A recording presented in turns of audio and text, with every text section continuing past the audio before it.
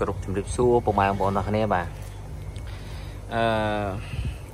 ខ្ញុំឲ្យចំណៃពួកអាមេរិកណាពួកនេះវាស៊ីច្រើនមែនទែនសម្រាប់ពួកអាមេរិកអញ្ចឹងរបបអាហារសម្រាប់ពួកអាមេរិកនេះខ្ញុំឲ្យអឺមួយថ្ងៃពីរដងបាទព្រឹកល្ងាចបាទបើសិនថ្ងៃណាតនេខ្លាំងទៅឆ្លៀតដល់3ដងក៏មានដែរបងប្អូនទាំងគ្នាបាទព្រោះអីយើងឲ្យស៊ីទៅព្រោះនេះវាស៊ីអត់ចេះខុសទេព្រោះអីវាឆាប់ធំណាឆាប់ធំហើយវាស៊ីច្រើនព្រោះនេះណា បើសិនតែមានប្រភេទចកស្រាយអីយើងដាក់ឲ្យវាស៊ីទៀតក៏រឹតតែល្អប៉ុណ្ណឹងណាសួនចាំឲ្យធំលឿនបាទនេះសិតតែជាប្រភេទមេបាពូជរបស់ខ្ញុំបាទនៅក្នុងទៀតអឺអានេះខ្ញុំប្រកាសនេះមក20គូអឺ10គូ20ក្បាលបាទអធិស្ឋានបាទ10គូ20ក្បាលណាក្នុងមួយបតនេះបាទ ឥឡូវនេះវាពងចេញស៊ីចំណៃហើយនៅខាងនេះក៏ដូចគ្នាដែរបាទមួយបតហ្នឹងខ្ញុំដាក់10គូហើយនាំបងប្អូនអរគ្នាមកមើលខាងនេះទៀត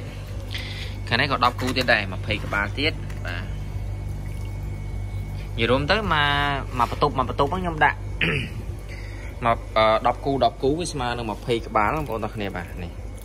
ព្រោះធ្នើខ្ញុំនេះខ្ញុំធ្វើ3ថ្នាក់អញ្ចឹងល្អមែនតើសម្រាប់បងប្អូនដែលមានទីធ្លាទូចចង្អៀតណាបាទអាចសាក់លបងចិញ្ចឹមឬជាប្រកាត់តាមខ្ញុំបានបាទអត់ប្របាក់ទេអត់ទីតាំងទេបាទយើងដាក់ចំណៃឲ្យវាអញ្ចឹងទៅរួចបងប្អូនទាំងគ្នាបាទចាំអត់ប្របាក់អីទេហើយក៏អត់ត្រូវការការថែទាំឲ្យច្រើនដែរការពេលថ្ងៃយើងធ្វើការងារផ្សេងផ្សេងទៅ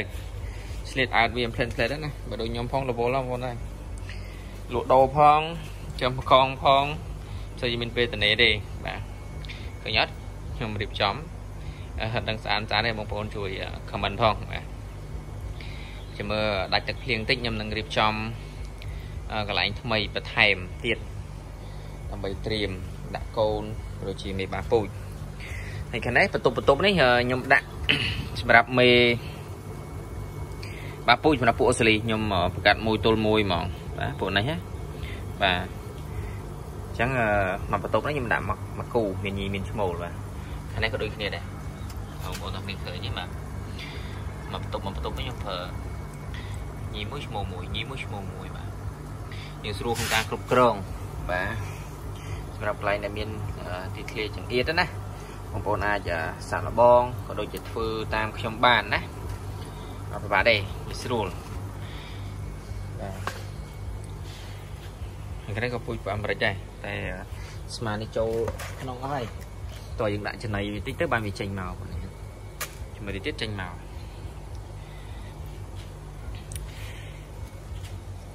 បាទអញ្ចឹងបងប្អូនចង់ចិញ្ចឹមបាទអាចតតមកខ្ញុំបាន តាមរយៈ Telegram អឺ097 7 3ដាម4115បាទ ខ្ញុំអាចនឹងជួយប្រឹក្សាជូនបងប្អូនអស់គ្នាពាក់ព័ន្ធមួយការចិញ្ចឹមណាបាទនេះសម្រាប់ពួកអាមេរិកបាទ